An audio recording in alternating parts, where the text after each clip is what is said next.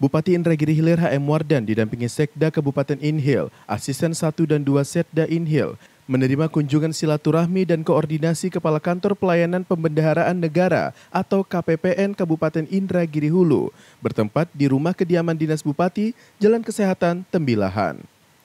Kedatangan KPPN Inhu bertujuan untuk silaturahmi bersama pemerintah Kabupaten Indragiri Hilir, disambut hangat oleh Bupati Inhil sekaligus menjamu sarapan pagi. Sambil menikmati menu sarapan ciri khas Tembilahan, Bupati bersama jajaran Pemkap Inhil melakukan obrolan santai dengan KPPN Inhu.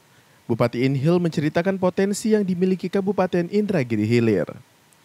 Di sela-sela silaturahmi, pemerintah Kabupaten Indragiri Hilir terima penghargaan sebagai pemerintah daerah terbaik dalam kinerja dan pengelolaan dana desa pada lingkungan Kantor Pelayanan Perbendaharaan Negara atau KPPN tahun 2022. Zakaria Deni Arizal melaporkan untuk Gemilang Televisi.